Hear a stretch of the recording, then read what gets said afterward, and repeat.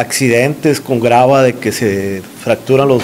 vidrios, paravistas o pintura, eh, nosotros nos dimos a la tarea de contactar a la Secretaría de Comunicaciones a través del residente de su obra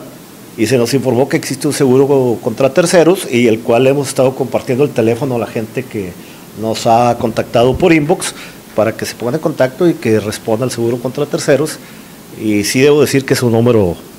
pues arriba de 30 nos han contactado, de los se les han dado información a todos. Esperemos que se resuelva de manera positiva y que también le hemos estado insistiendo a, a la constructora que,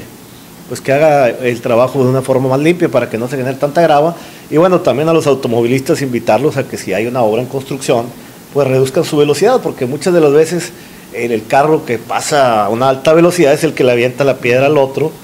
por no respetar los límites de velocidad o por no respetar una obra que se está ejecutando.